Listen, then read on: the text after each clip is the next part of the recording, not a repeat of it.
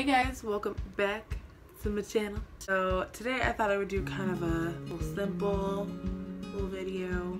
Um, just showing you guys my not so extensive makeup collection.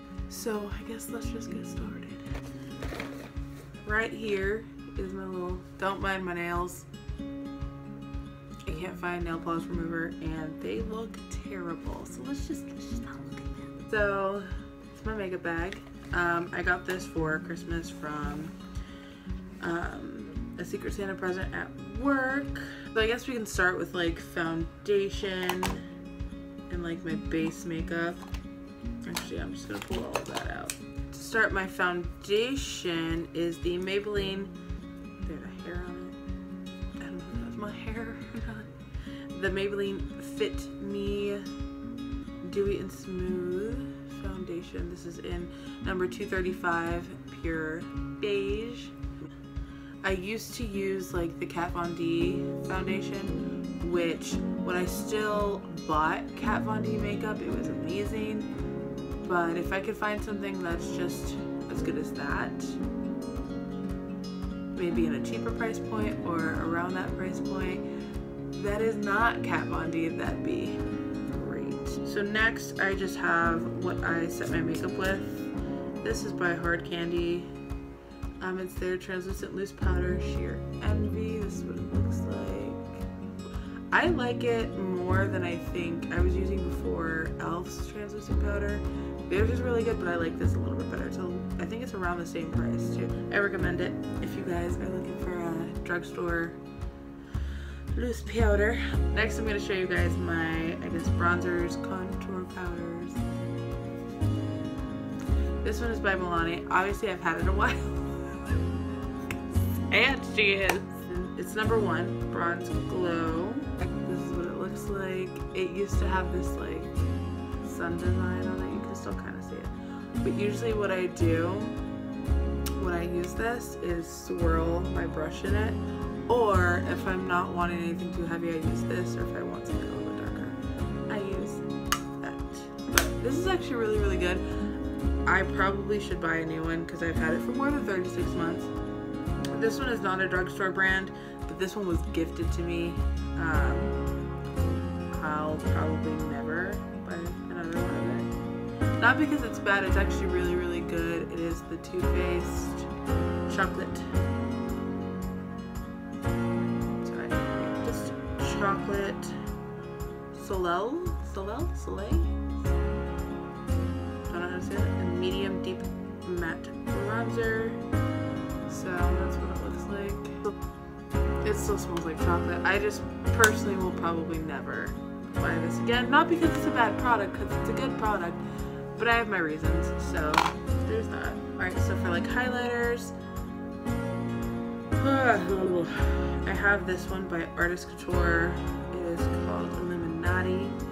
It is their Diamond Glow Powder. I actually want to open this so you can, so you can see. Man, my nails look terrible. Let's just not show that one. That's what that looks like. I don't know if you guys, my phone will focus, but oh my lantas, it's so pretty. I got this when I was still getting like BoxyCharms. Super pretty. I'm not wearing it right now. I'm wearing my other highlighter, but I really like it. I think it's nice. Currently two. This is by Too Faced. This was also gifted to me by my girlfriend's little sister. It is the Too Faced Love Light. I guess it's called, oh, it's a Prismatic Highlighter. Um, in Blinded, Blinded by the Light. It's pretty.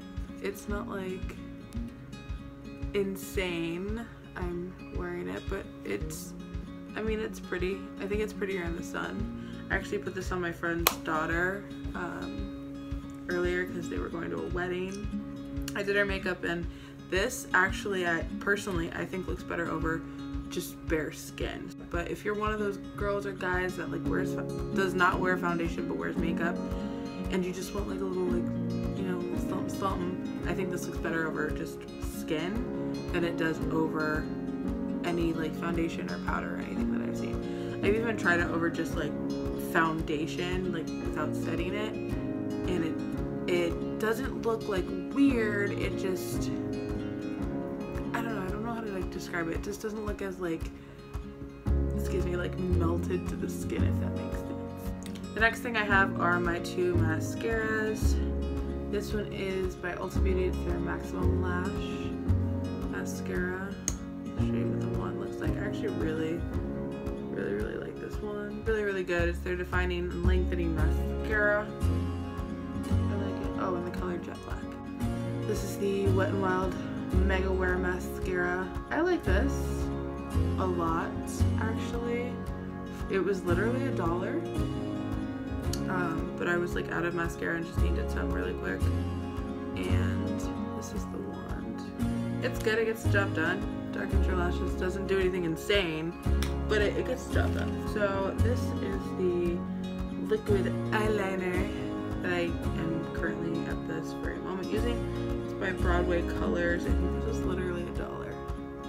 But it's it's not bad for a dollar.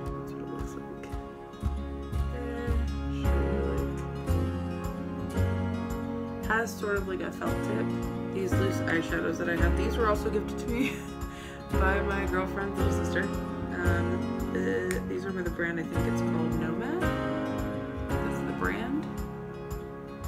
Oh, this is a highlight. Oh, I thought this was a little tiny eyeshadow. It's a highlight powder. That's cute. I mean, I, have used it as a highlight because it's um, sort of this really pretty, like, I don't know if you guys can see that. It's a really pretty like champagne color. It's the illuminated highlighting powder in Stockholm. But this one's the eyeshadow, which is so pretty. Like, it's so shimmery, but it doesn't like just, you know, there's no loose glitter or anything. It sticks really, really well. I believe it's called Marrakesh. So let's just get into like my lip products. I don't have a lot. I had more, but I've since thrown some stuff out. This one we'll talk about in a minute. Tube lipstick my girlfriend actually got for me. Um, she actually bought it thinking it would be this color. Didn't realize it would be this color, which I don't, I mean, I don't mind. I think it's a super pretty color. Um, I don't wear it very often. I wear it every once in a while.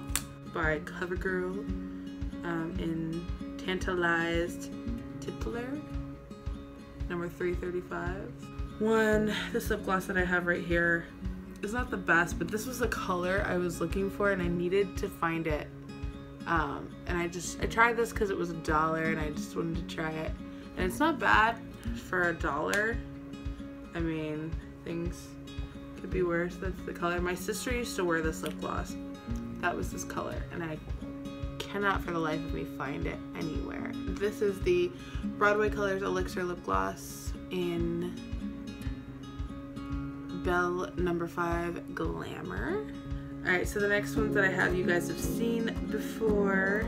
Um, they are my two liquid cat suits by Wet n Wild in Rebel Rose and Missy and Fierce. I love these. I'm wearing Rebel Rose so that's it for like my lips and stuff.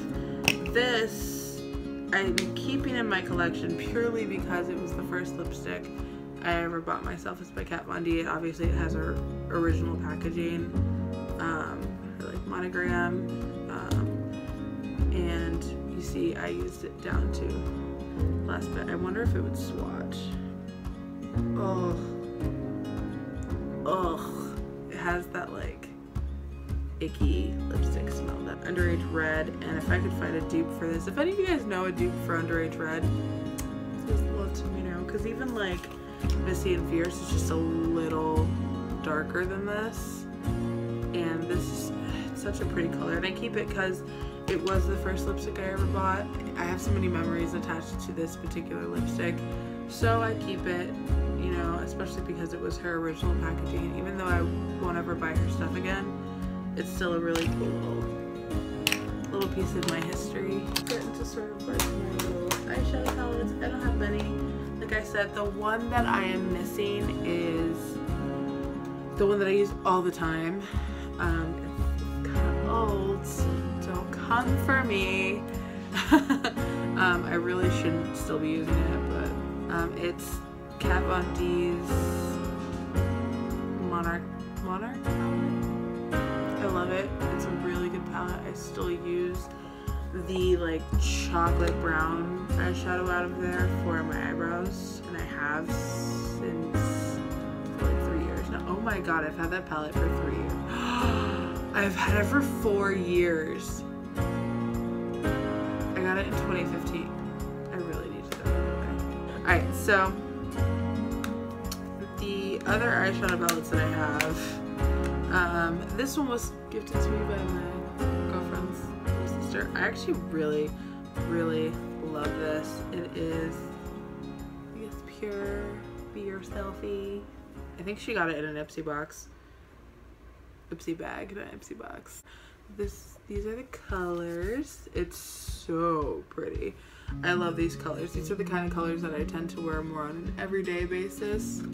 Um, because I kind of have like a regular job and I can't really wear like super wild eyeshadow there so I have a lot of neutral palettes was given to me by my mama on my 23rd birthday it was actually hers but she didn't much like it so she gave it she gave it to me and I have gotten some serious use out of it and I think the only shade that I don't like out of here is WOS Maybelline The Nudes palette. palette. Simple, lots of browns, blacks, gray, like muted colors because it's just what I tend to wear. Um, and this one I got in a BoxyCharm. I think this was the first BoxyCharm box that I got. And this is by Real Her. Real Her. Um, your own kind of beauty. but these are so nice. This is more of my like going out at night. Like I don't go clubbing or anything, but like if I go out, this is what I'm gonna use. So that was my very simple, very small makeup collection. Um, I'm planning on adding to it sometime soon, hopefully. I really want to get a Jeffree Star palette. I'm dying to have something with some color. I used to have a lot of colorful eyeshadows, you know, in my little like emo scene phase. Uh, but I would love to start playing with colorful makeup again because I just, I mean, these are literally four palettes with neutral colors. I used to wear a lot of blue eyeshadow um, when I was wearing colorful makeup. I would do like a neutral color and then I would do like blue on the other side and that was like a that was something Kat Von D was doing and I loved her at the time so I was doing it too. Maybe in one video I'll just like go through my scene and emo phase because I mean I don't really dress like that anymore though I do still have a lot of like my band tees like I wear a lot of my Black Veil Brides I say a lot like I have a lot left. I have one left that I that I still want to wear. Others that like just ripped to shreds. Um, and then I have my original one, which I wore to my first and last Warped Tour. Maybe I'll take you guys through like a tour of like my emo scene phase guys, thank you so much for watching. I hope that this video was entertaining at least even though I feel like my makeup collection is so boring.